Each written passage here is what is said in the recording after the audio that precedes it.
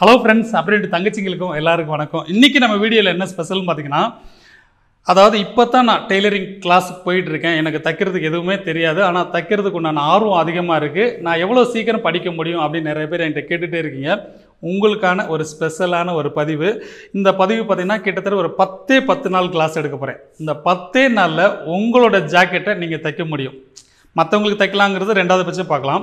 உங்களோட ஜாக்கெட்டை உங்களால் கண்டிப்பாக தைக்க முடியும். எந்த ஒரு கரெக்ஷனும் இல்லாமல் நீட்டாக அழகாக ஒரு எக்ஸ்பீரியன்ஸான ஒரு டெய்லர் உங்களுக்கு தைச்சி கொடுத்தா எப்படி இருக்குமோ அதே மாதிரி ப்ளஸ் அதை விட உங்களால் அதிகமாக பண்ண முடிஞ்சாலும் கண்டிப்பாக பண்ண முடியும். ஏன்னா அந்தளவுக்கு விளக்கமாக உங்களுக்கு நான் சொல்லிக் கொடுக்க போகிறேன் அதாவது ஒரு கட்டிங் ஃபஸ்ட்டு சொல்லிக் கொடுக்க போகிறேன் அப்புறம் தைக்கும்போது ஒவ்வொரு பார்ட்ஸும் தனித்தனியாக உங்களுக்கு சொல்லிக் கொடுக்க போகிறேன் அதாவது ஒவ்வொரு நாளும் ஒவ்வொரு பார்ட்ஸ் தான் சொல்லிக் கொடுக்க போகிறேன் ஒரே நாளில் கம்ப்ளீட் பண்ண போகிறதில்ல ஒவ்வொரு நாளைக்கு ஒவ்வொரு பார்ட்ஸ்னு சொல்லும்போது உங்களுக்கு கொஞ்சம் ஈஸியாக புரியும். கஷ்டமே இருக்காது. சாதாரணமாக கஷ்டப்பட்டு தைக்கக்கூடிய எந்த ஒரு வேலையாக இருந்தாலும் ரொம்ப ஈஸியாக சொல்லிக் கொடுக்கறது என்னோடய பழக்கம். இப்போ புதுசாக படிக்கக்கூடியவங்களுக்கு எவ்வளோக்கு எவ்வளோ ஈஸியாக சொல்லிக் கொடுக்க முடியுமோ அந்த அளவுக்கு ரொம்ப ஈஸியாக சொல்லிக் கொடுக்க போகிறேன் உங்களோட ஜாக்கெட்டு நீங்களே கட் பண்ணி தைக்கிறதுக்கு. இப்போ நீங்கள் உங்களோட மெஷர்மெண்ட்டு நீங்கள் எடுத்துக்கோங்க.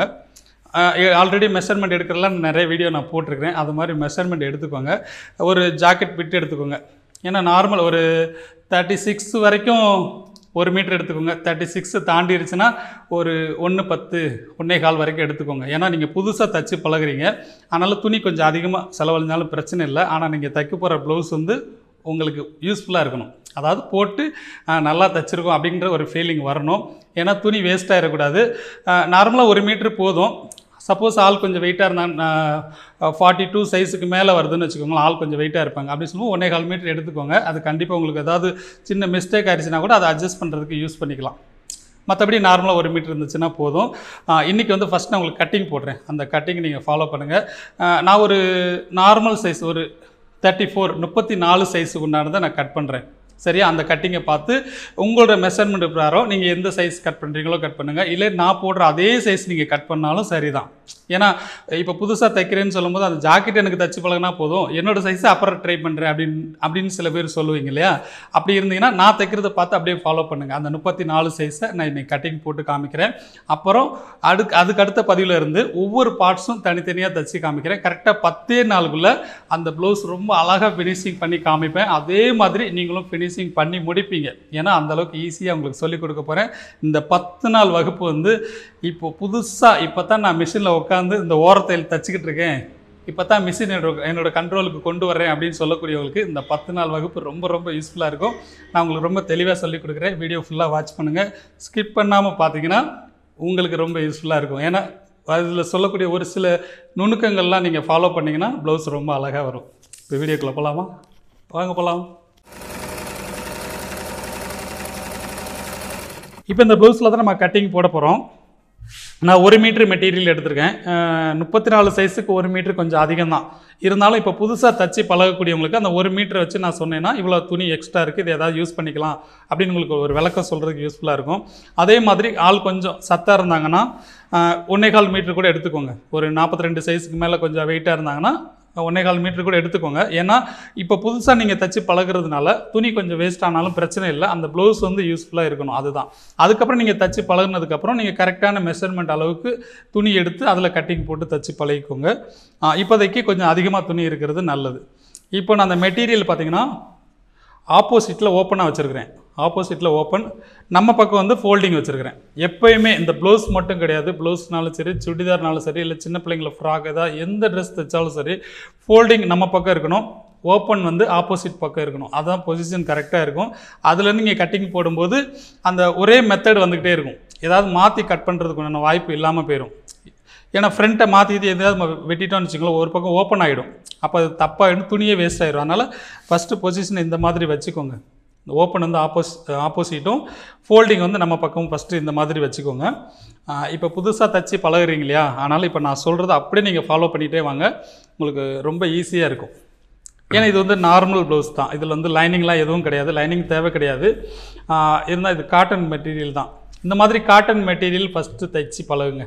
ஏன்னா உங்களுக்கு ரொம்ப சிரமம் இல்லாமல் இருக்கும். இந்த மாதிரி காட்டன் மெட்டீரியல் வந்து ரொம்ப சிரமம் இல்லாமல் ஈஸியாக நீங்கள் தைச்சிடலாம். மற்றபடி கொஞ்சம் வளவலன்னு இப்போ லேசான துணி தைக்கும்போது ஃபஸ்ட்டு துணியும் உங்களுக்கு சிரமமாக இருக்கக்கூடாது.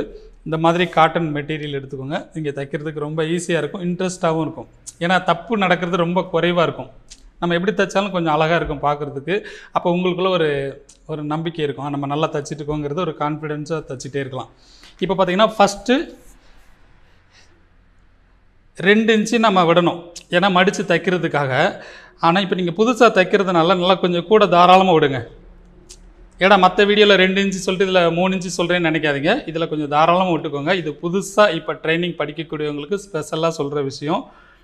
ஏன்னா நீங்கள் தைக்கக்கூடிய அந்த முதல் ப்ளவுஸே உங்களுக்கு திருப்தியாக இருக்கணும் அப்படிங்கிறதுக்காக தான் நல்லா ஒரு மூணு இன்ச்சு தாராளமாக விட்டுக்கோங்க. இது மூணு இன்ச்சு விட்றவங்க எதுக்காக கேட்டிங்கன்னா அந்த திக்னஸ் வரணும் உள்ளே மடிக்கிறதுக்கு வேணும் அப்படிங்கிறதுக்காக தான்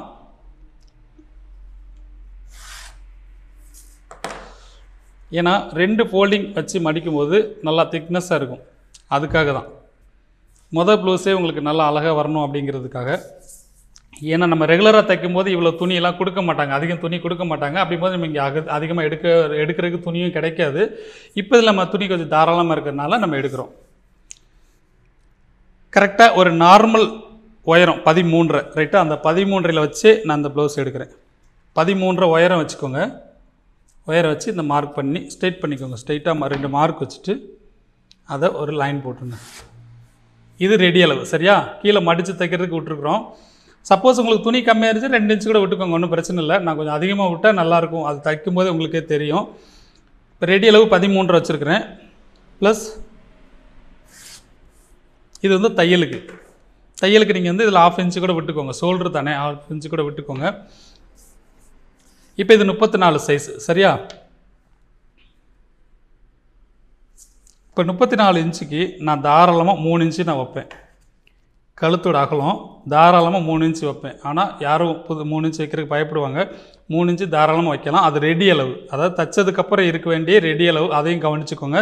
நீங்கள் மூணு இன்ச்சு வச்சுட்டு மூணு இன்ச்சில் வெட்டிட்டிங்கன்னா கழுத்து பெருசாகிடும் மூணு இன்ச்சு கழுத்தோட அகலம். இறக்கம் பார்த்தீங்கன்னா நான் எட்டு இன்ச்சு வைக்கிறேன். உங்களுக்கு எவ்வளோ இறக்கம் வேணுமோ அதை நீங்கள் வச்சுக்கோங்க. இந்த கழுத்து கரெக்டாக அகலம் ஆகாமல் கரெக்டாக ஒரே லெவலில் இருக்கிறதுக்கு இங்கேயும் ஒரு மூணு இன்ச்சு கனெக்ட் பண்ணி ஒரு மார்க் வச்சுக்கோங்க. வச்சுட்டு இருக்கு இல்லையா?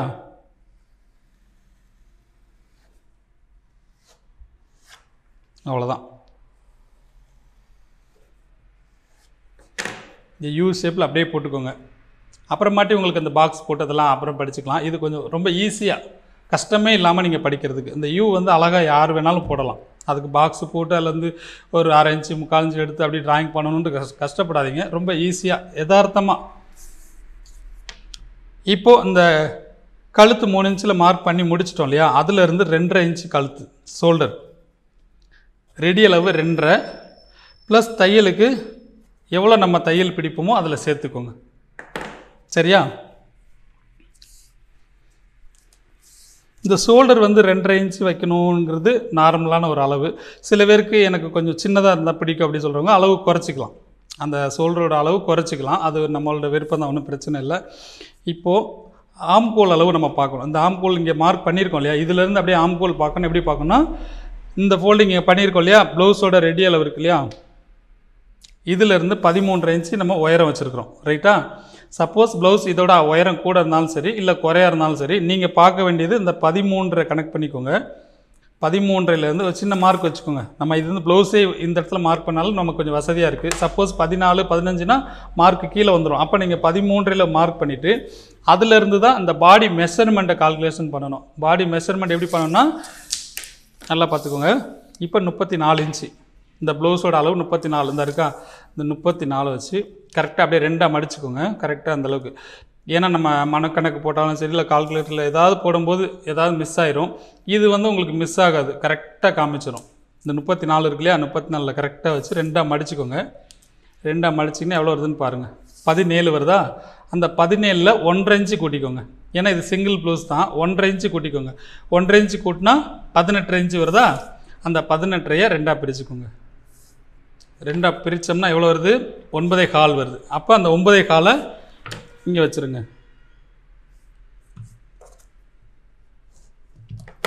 ஒன்பதே கால் மார்க்கை இங்கே வச்சுருக்கேன்.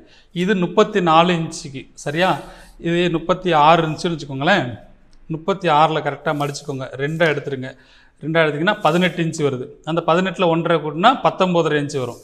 அந்த பத்தொம்போதரை ரெண்டாக பிரிச்சிங்கன்னா ஒன்பதே முக்கா வருது. இந்த மாதிரி தான் அளவு மாறுபட்டுகிட்டே வரும். இப்போ நாற்பது இன்ச்சு இருக்குதுன்னு வச்சுக்கோங்க. நாற்பது இன்ச்சில் கரெக்டாக வச்சுக்கோங்க ரெண்டாக மடிச்சிருங்க. நாற்பதில் ரெண்டாக பிரிச்சோன்னா இருபது வருது. இருபதில் ஒன்றரை கூட்டினா இருபத்தி ஒன்றரை. அதை அப்படியே நீங்கள் ரெண்டாக மடிச்சுக்கோங்க. மடிச்சிங்கன்னா பத்தே முக்கா வருது. அது அந்த பாடியோட மெஷர்மெண்ட் அந்த மாதிரி அந்த செஸ்ட்டோட அளவு இப்படி தான் கால்குலேஷன் பண்ணணும். ஒவ்வொரு அளவுக்கும் நீங்கள் எந்தெந்த அளவுக்கு மெஷர்மெண்ட் எடுத்துருக்கீங்கன்னு எனக்கு தெரியாது இல்லையா? நான் சொல்கிறது முப்பத்தி நாலு இன்ச்சு.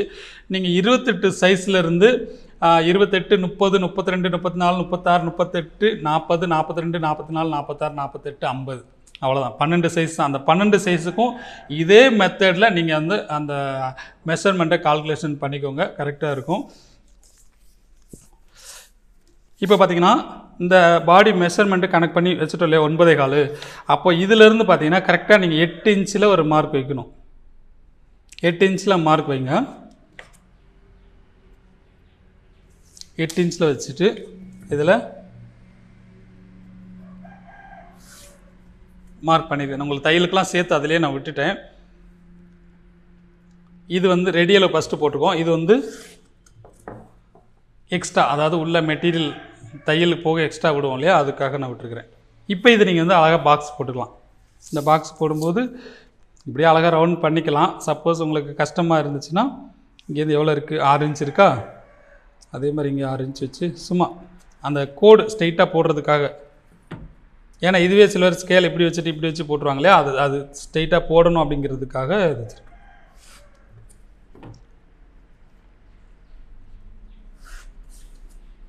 இந்த மாதிரி பாக்ஸ் போட்டுக்கோங்க. போட்டுட்டு கம்பல்சரி இதிலிருந்து ஒன்றே கால் இன்ச்சு வச்சுக்கோங்க. ரைட்டா இந்த மாதிரி ஒன்றே கால் இன்ச்சு வச்சுக்கோங்க.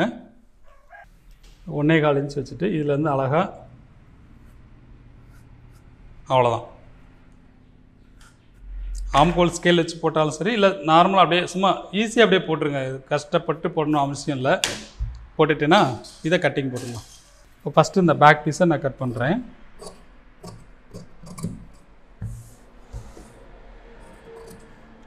கரெக்டாக இந்த மார்க்லேயே அழகாக அப்படி வெட்டுங்கண்ணே.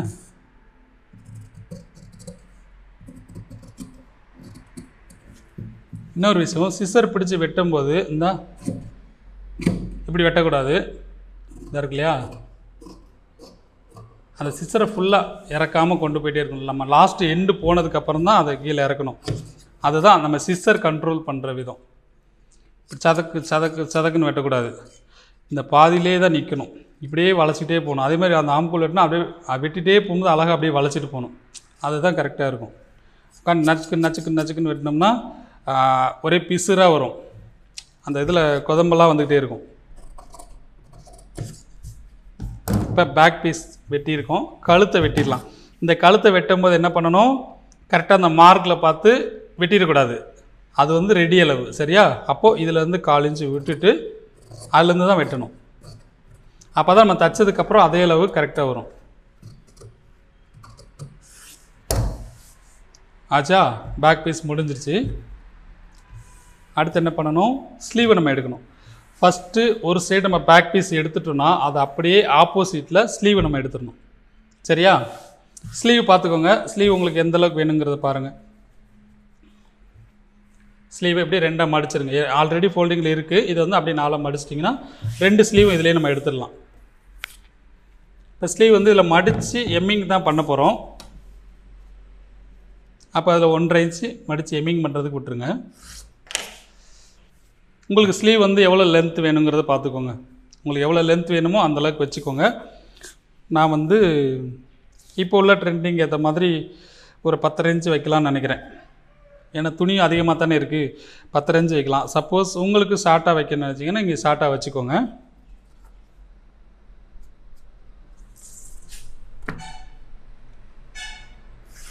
ரெடி அளவு ப்ளஸ் தையலுக்கு. ரைட்டா இந்த ஸ்லீவ் வந்து நீங்கள் நான் பத்து ரேஞ்சு வச்சுருக்கேன். நீங்கள் பத்து வச்சாலும் சரி ஒன்பது வச்சாலும் சரி எட்டு வச்சாலும் சரி ஏழு வச்சாலும் சரி அஞ்சு வச்சாலும் சரி. ஷார்ட்டான ஸ்லீவ் இருந்தாலும் சரி லென்த்தான ஸ்லீவாக இருந்தாலும் அந்த ஸ்லீவுக்குரிய அளவு மார்க் பண்ணிவிட்டு அதில் தையலுக்கும் சேர்த்து எக்ஸ்ட்ரா மார்க் பண்ணிவிட்டு அந்த பீஸை கட் பண்ணி தனியாக எடுத்துருங்க ஃபஸ்ட்டு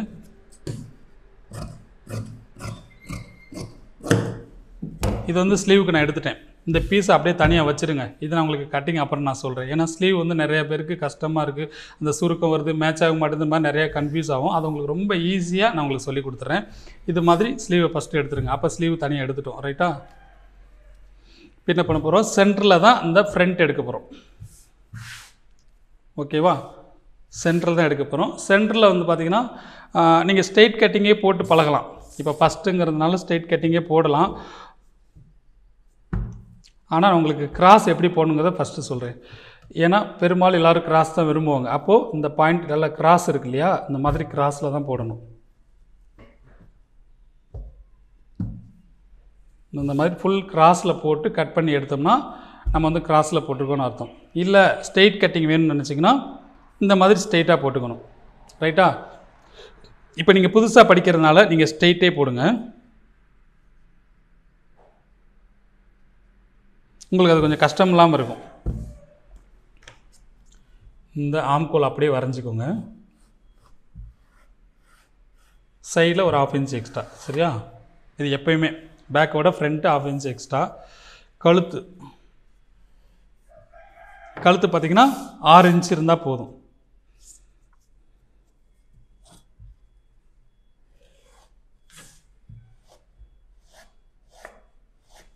கழுத்து நான் ஆறு வச்சுருக்கிறேன். இது முடிச்சிட்டோமா? இதுலேருந்து பார்த்தீங்கன்னா கரெக்டாக ஒரு இன்ச்சு கழுத்துலேருந்து ஒரு இன்ச்சு விட்டுட்டு கரெக்டாக பதிமூன்றரை இன்ச்சு கொண்டு வந்து மார்க் பண்ணிக்கோங்க. பதிமூன்றில் மார்க் பண்ணியிருக்கீங்களா அந்த பதிமூன்று வந்து கிராஸோட உயரம். இந்த பதிமூன்று எல்லாருக்கும் சூட்டபிள் ஆகும்.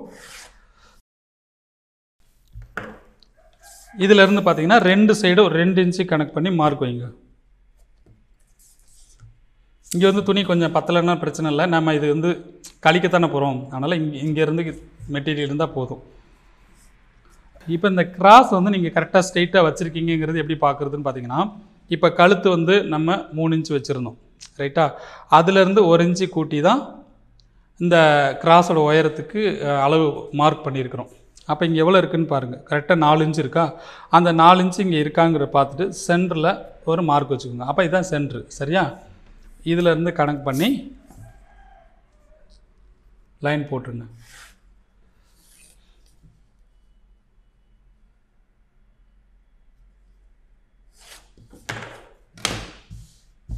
அவ்வளோதான் இப்போ இந்த ஃப்ரெண்டையும் நான் கட் பண்ணிடுறேன்.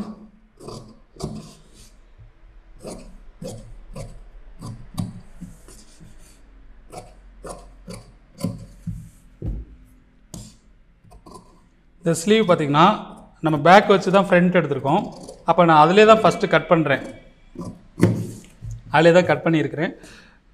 நெக்கு வந்து இந்த மார்க்லேயே கட் பண்ணுறேன் ஏன்னு கேட்டிங்கன்னா நம்ம பேக் பீஸில் கொஞ்சம் எக்ஸ்ட்ரா தான் விட்டுருக்குறோம். அதை வச்சு தான் மார்க் பண்ணணும். அப்போ அதே அளவில் நான் அந்த கழுத்தத்தை வெட்டிடுறேன். கழுத்தோட இறக்கம் ஆறு இன்ச்சு நார்மல் நீங்கள் உங்களுக்கு சப்போஸ் கொஞ்சம் இறக்கம் வேணுங்கிறவங்க எடுத்துக்கோங்க. இப்போது இதில் குடஞ்சி எடுப்போம் இல்லையா? அந்த குடஞ்சி எடுக்கிறது பார்த்திங்கன்னா கரெக்டாக ஒரு ஆஃப் இன்ச் உள்ளடக்கி ஏன்னா எல்லாருக்குமே எடுக்க வேண்டிய அவசியம் இருக்காது. ஒரு சிலர் கண்டிப்பாக எடுத்தே ஆகணும். ஏன்னா பாடி பீஸே எடுக்கணும். இந்த- இந்த அளவுக்கு நீங்கள் கட் பண்ணி எடுத்துருங்க எடுத்துட்டிங்கன்னா ஓகேவாக இருக்கும். சரியா?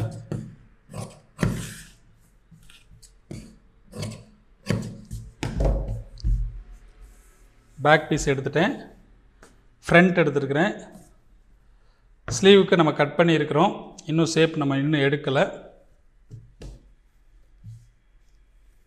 ஏன்னா ஸ்லீவுக்கு வந்து நம்ம தைக்கும்போது எல்லாருக்கும் சொல்லிக் கொடுக்குறத விட இன்னும் ஈஸியாக உங்களுக்கு சொல்லிக் கொடுக்க போகிறேன் அதாவது கஷ்டமே இல்லாமல் ரைட்டா இப்போ இதில் பார்த்தீங்கன்னா இந்த பெல்ட் பீஸ் பெல்ட் பீஸ் பார்த்தீங்கன்னா இந்த பேக் பீஸ் இருக்கு இல்லையா? இந்த பேக் பீஸ் எவ்வளோ அகலம் எடுத்துருக்கீங்களோ அந்த அளவுக்கு எடுத்துக்கோங்க. சப்போஸ் துணி பத்தலையா? அந்த ரெடி அளவாவது எடுத்துக்கோங்க. இந்த அளவுக்கு எடுத்துக்கோங்க. அகலம் அந்த உயரம் பார்த்தீங்கன்னா ஒரு ஆறு இன்ச் இருந்தால் போதும். ஆறு இன்ச் இருந்துச்சுன்னா நீங்கள் தாராளமாக தைக்கலாம். சரியா? சப்போஸ் குறைவாக இருந்தாலும் பிரச்சனை இல்லை. அந்த ஆறு இன்ச்சு கிடைக்குதான்னு பாருங்கள் கிடச்சிச்சின்னா நல்லாயிருக்கும் முடிஞ்சிருச்சு. இப்போ இந்த மீதி இருக்கிற பீஸ் வந்து கழுத்து எம்மிங்க்கும் இந்த ஊக்குப்பட்டி தைக்கிறதுக்கு எதுக்காவது இதெல்லாம் யூஸ் பண்ணிக்கலாம். சரியா? இது வந்து அதுக்கு யூஸ் பண்ணிக்கிறோம் தச்சு முடிக்கிறது அன்றைக்கி சின்ன சின்ன பீஸாக இருந்தால் கூட பத்திரமா வச்சுக்கோங்க. மெட்டீரியல் கொஞ்சம் அதிகமாக இருக்கனால நமக்கு வேஸ்டேஜ் ஆகாது. ஏதாவது மாற்றி போட்டு கூட சரி பண்ணிக்கலாம். Back piece front cross belt sleeve சரியா? ஸ்லீவ் உங்கள் விருப்பம். லாங் போட்டாலும் சரி ஷார்ட்டாக போட்டாலும் சரி எடுத்துக்கோங்க. இது வந்து எக்ஸ்ட்ரா உள்ள பீஸ் சரியா? இப்போ இன்றைக்கி இதே கட்டிங் அப்படியே நீங்கள் ஃபாலோ பண்ணுங்கள் நீங்கள் என்ன மெஷர்மெண்ட்டில் கட் பண்ணாலும் பிரச்சனை இல்லை. நான் சொன்ன இதே மெத்தடில் கட் பண்ணுங்கள் ஒவ்வொரு சைஸ்க்கும் உள்ள டிஃப்ரெண்ட் நான் சொல்லியிருக்கிறேன். அதே மாதிரி ஆம்கோல் டிஃப்ரெண்ட்டு இருக்குது இப்போ வந்து ஒவ்வொரு சைஸுக்கும் அந்த ஆம்கோல் டிஃப்ரெண்ட் இருக்குது மூணு சைஸுக்கு ஒரு அளவுக்கு மாறும். அதை நீங்கள் வீடியோவில் நான் சொல்லியிருக்கேன். அதை ஃபாலோ பண்ணிக்கோங்க. முப்பத்தி நாலு சைஸுக்கு இது சூட்டபிள் ஆகும். இந்த சைஸே நீங்கள் தைச்சி பழகினாலும் ஓகே தான். ஃபஸ்ட்டு ப்ளவுஸு இந்த சைஸுக்கு தைச்சிட்டு இப்படி தான் தைக்கணும் அப்படிங்கிறத நீங்கள் ஈஸியாக புரிஞ்சுக்கலாம். அதுக்கப்புறம் உங்களோட சைஸுக்கு நீங்கள் மாறினாலும் மாறிக்கலாம். இப்போ நான் போட்ட கட்டிங் அப்படியே நீங்கள் போடுங்க. இப்போ இன்றைக்கி முதல் வகுப்பில் நம்ம கட்டிங் பார்த்துட்டிங்க. இதே மாதிரி கட்டிங் நீங்கள் போட்டிருப்பீங்கன்னு நம்புகிறேன் கட்டிங் போட்டு ரெடியாக வச்சுருங்க. இதுக்கு அடுத்த பதிவில் நம்ம ஸ்டிச்சிங் ஸ்டார்ட் பண்ண போகிறோம் முதல்ல ஒரு பார்ட்ஸ் நான் தச்சு காமிப்பேன். அதே மாதிரி நீங்களும் ஒரு பார்ட்ஸ் தச்சுட்டு அப்படியே ஸ்டாப் பண்ணுவீங்க. ஒவ்வொரு வகுப்பும் பார்க்கும்போது ஒவ்வொரு பார்ட்ஸாக தச்சுட்டு வந்தீங்கன்னா அந்த பத்தே நாளுக்குள்ளே சூப்பரான ஒரு ப்ளவுஸ் உங்களால் தைக்க முடியும் அப்படிங்கிறத நீங்களே ப்ரூவ் பண்ணி காமிக்க முடியும். அடுத்த பதிவில் இதோட தொடர்ச்சியை பார்க்கலாம். பாய்